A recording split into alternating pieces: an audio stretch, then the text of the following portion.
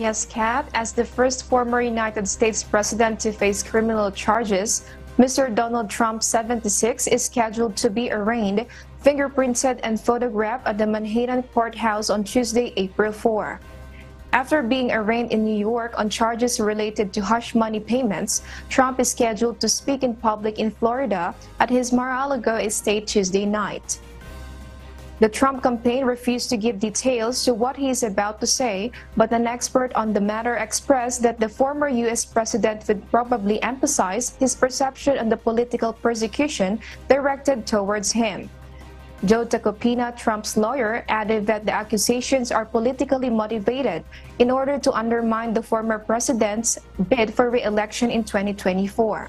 The grand jury heard testimony concerning a 130,000 US dollar payment made to adult film actress Stormy Daniels in the last weeks of the 2016 presidential campaign before the indictment.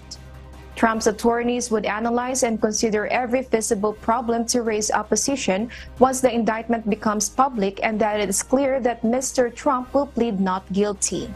Back to you, Kath. Thank you, Ruth Bahe, reporting live from Vietnam.